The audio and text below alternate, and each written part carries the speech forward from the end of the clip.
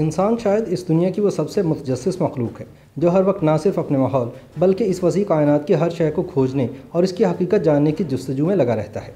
यही खोज इसे आज चाँद सितारों और करोड़ों नूरी सालों के फासले पर वाक़ कहकशाओं तक ले गई है। जो सवाल हमेशा से इंसानी दिमाग में घूमते रहे हैं, उनमें से अव्वल तरीन कायनात के उन सरबस्ता राजों का हसूल है, जिनमें से कुछ से पर्दा उठाया जा चुका है और बहुत सों की खोज अभी तक बाकी है। हम जिस कायनात में रह रहे हैं इसमें अरब हा अरब कहकशाएँ मौजूद हैं, जो इस बात का वाज सबूत है कि कायनात हमारे तस्वुर से भी ज़्यादा वसी है। कायनात का कल क्या था और कायनात का आने वाला कल क्या होगा? ये सबसे बड़े सवाल में से एक है। कायनात का तेज़ी से फैलाव ये बता रहा है कि यह कभी फ़कत एक नुक्ते में सिमटी हुई थी, जिससे इसका फैलाव शुरू हुआ और फिर एक लामतही सफ़र शुरू हो गया। बिग बैंग, यह अजीम धमाका, कायनात के उस बड़े इवेंट का नाम है, जिसके साथ ही तोानाई वक्त, खला और फिर ज़र्रात। हती के मादे की कहानी का आगाज़ हुआ। मगर साइंसदान समझते हैं कि बिग बैंग से कबल न जमान था और न मकान। ताहम इस धमाके के बाद एक सानिए के एक अरबवें हिस्से में क्या हुआ? इस बाबत किसी हद तक ठोस बात की जा सकती है। ताहम ये बात भी जहन नशीन रहे कि तमाम तर साइंसी मालूम की बुनियाद असल में मुशाहिदात और मौजूद शवाहिद पर होती है। ताहम साइंसी नज़रियात ना तो सवाल से मुबर्रा हैं और ना ही इनमें तगैर या तब्दीली की गुंजाइश को रद्द किया जा सकता है। कायनात की इब्तदा से मुतल अब तक का सबसे मुसलमा नज़रिया बिग बैंग थ्योरी है। यानी ये कायनात एक धमाके के ज़रिए वजूद में आए और तब से अब तक फैलती चली जा रही है।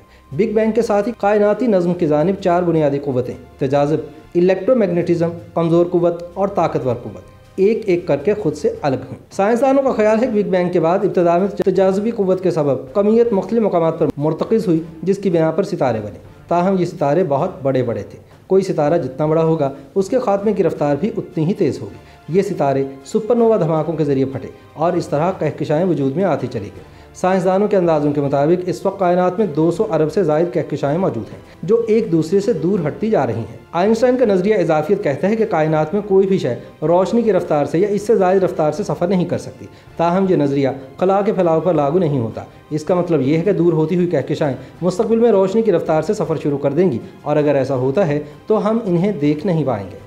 इन कहकशाओं के रोशनी की रफ्तार से दूर हटने के बाद इंसानों के लिए कायनात फ़कत वो कहकशा रह जाएगी जिसमें वो मौजूद होगा। ऐसी सूरत हाल में बिग बैंग नज़रिए के आज मौजूद शवाहिद भी ख़त्म हो जाएँगे। यानी ना हमें कहकशाएँ दिखाई दे रही होंगी, ना ही इनके दरमियान बढ़ता हुआ फासला मापा जा सकेगा।